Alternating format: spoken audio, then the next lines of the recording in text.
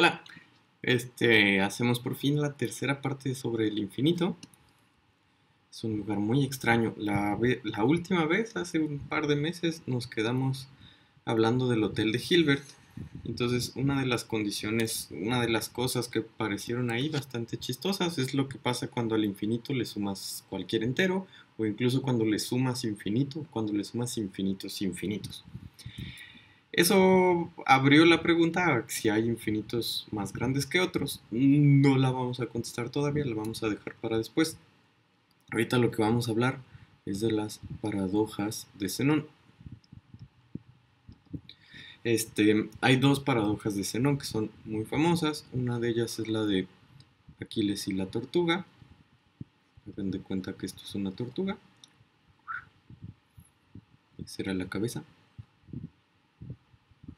tiene lentes.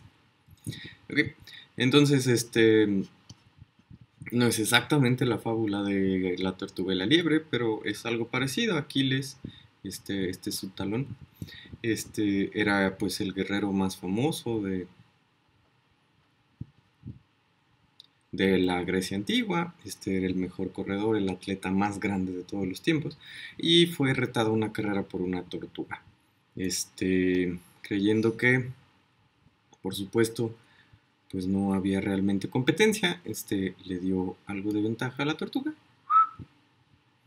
Entonces la tortuga empezó adelante. Muy bien, entonces la tortuga tiene ventaja. Este, ahora, eh, pues Aquiles corre, Aquiles corre rápido, entonces Aquiles pues corrió y llegó a donde estaba la tortuga. Pero en ese tiempo en que Aquiles corrió, pues la tortuga también corrió la tortuga avanzó. Poquito, menos, que corre más despacio. Entonces sigue habiendo una distancia entre Aquiles y la tortuga. Pues Aquiles sigue corriendo y vuelve a llegar a donde está la tortuga. Pero para entonces ya pasó un tiempo, entonces la tortuga volvió a avanzar, aunque sea poquito, y por lo tanto sigue habiendo una distancia entre Aquiles y la tortuga. Entonces, dado que este, la tortuga siempre va a avanzar, este, pues Aquiles no puede ganar la carrera. La tortuga siempre va a estar un paso antes porque lo primero que tiene que hacer Aquiles antes de rebasar a la tortuga es alcanzar a la tortuga. Entonces no puede. Esa es la, primera paradoja de Zenón. Este, la segunda paradoja de Zenón, este, pues es un poco este, parecida tienen un arco, como un arco, pues. una flecha feliz. Entonces ustedes disparan la flecha a un blanco. Esto no es un blanco, tiene fondo negro. Entonces lo que ocurre es que la flecha no puede llegar al blanco.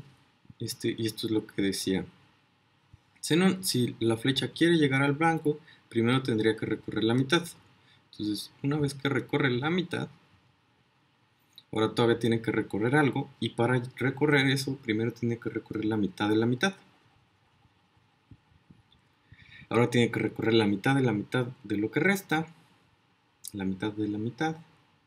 Y entonces siempre le falta algo para llegar, porque siempre le falta, antes de cubrir todo lo que tiene que cubrir, le falta la mitad de lo que le falta. Entonces, no se puede, Entonces, este... Lo que Zenón estaba tratando de demostrar es que el movimiento es imposible.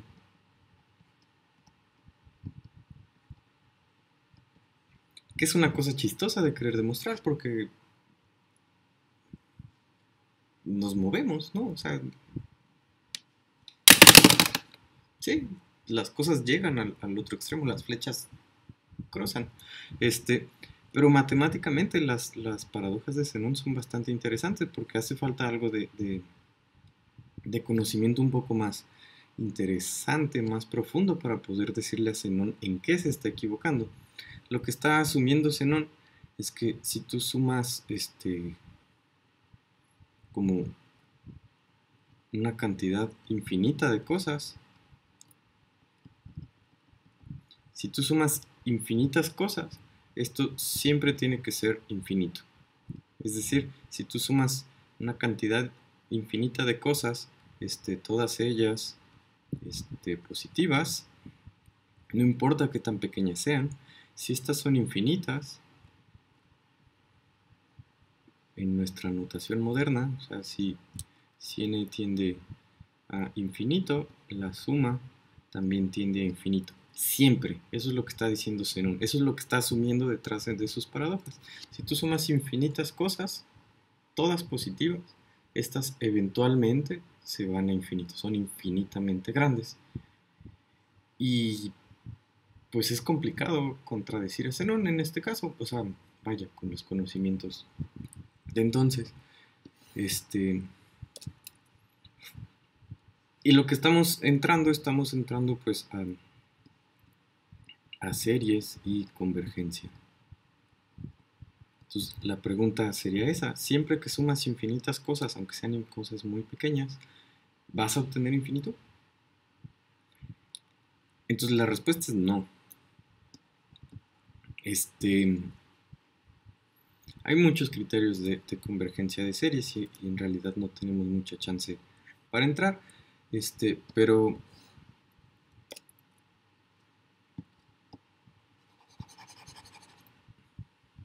podemos al menos intentar este, ver qué pasa con el de la mitad, ¿no?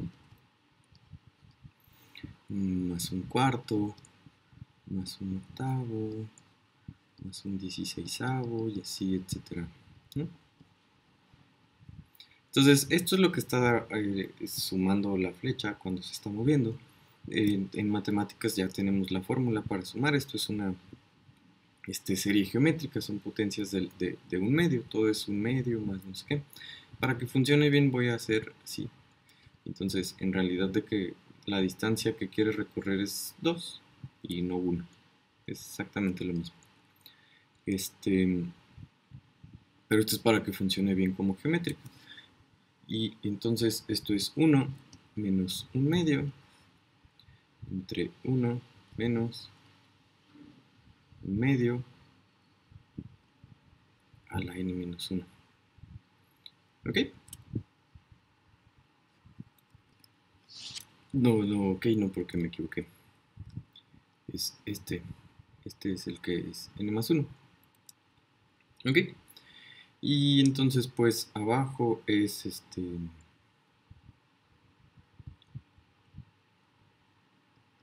medio a la n más 1 y este acá pues es un medio ¿sí?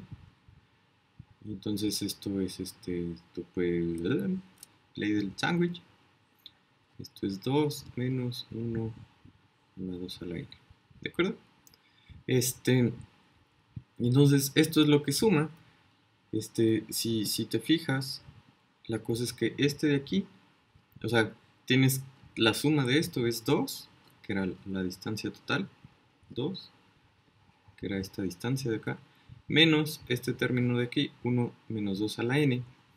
1 menos 2 a la n cada vez está haciendo más chiquito, entonces la pregunta es, ¿eventualmente desaparece? Y la respuesta es sí. Este, por la definición del límite que nosotros tenemos, este, no importa qué tan chiquita queramos que sea la diferencia, siempre podemos encontrar un n que hace que desaparezca. Entonces, de nuevo, no podemos entrar ahorita por el video en límite, pero cuando n se hace más y más grande, esto se hace más y más pequeño. Entonces, cuando se hace infinitamente grande, esto se hace infinitamente pequeño. Entonces, esta suma de hecho sí tiende a 2. ¿Ok? Entonces, esta suma en el infinito es de hecho 2. No es infinito. Esa es la cosa. O sea, si nos vamos hasta infinito, esto no crece infinitamente. Es decir, la, flecha no recorre una distancia infinita, recorre 2. Y algo muy parecido pasa con la con Zenón y la tortuga imaginemos que están en, una pista circular. Eso es una pista circular. Este. Y Aquiles le da media vuelta de ventaja. y lo que quieren hacer es este, competir a las 10 vueltas, ¿no? importa. Este, si aquí les corre al, doble, o sea, si este corre a 2k kilómetros por hora y este solo acá, y la pista mide k kilómetros, entonces cuando la tortuga llegue acá, aquí les debe alcanzarla. ¿Sí? Entonces no importa que estés sumando un medio y un cuarto y un octavo y, que siempre te estés acercando. Este, si esto se juega a dos vueltas, este, aquí les las da en lo que la tortuga da una. Eso es lo que, ni siquiera es lo que nos dice la intuición, eso es lo que ocurre en realidad. Este, pero entonces este, las paradojas de Zenon pues nos, nos introducen a a la suma de series, a las series infinitas. Y, ese es un tema interesantísimo en análisis. Este, por ejemplo, ya vimos que esta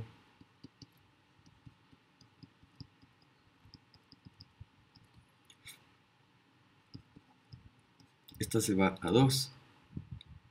Este, ¿qué pasa con series más sencillas como esta?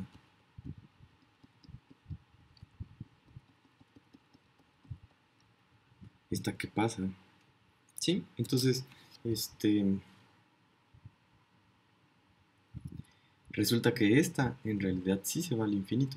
Aunque sean cosas cada vez infinitamente más, cada vez más y más y más pequeñas hasta que de hecho tienden a cero. Esto se hace cada vez más, más, más, más pequeño. La suma de estos infinitos términos sí es infinitamente grande. Esta suma no. Esta suma se queda en dos. Esta suma, no importa cuántos términos agregues, no pasa de 2, no puede ser 3, no puede ser 2.1. Pero esta suma sí es infinitamente grande. Cuando tú agregas infinitos términos, se hace tan grande como tú quieras. ¿De acuerdo? Entonces,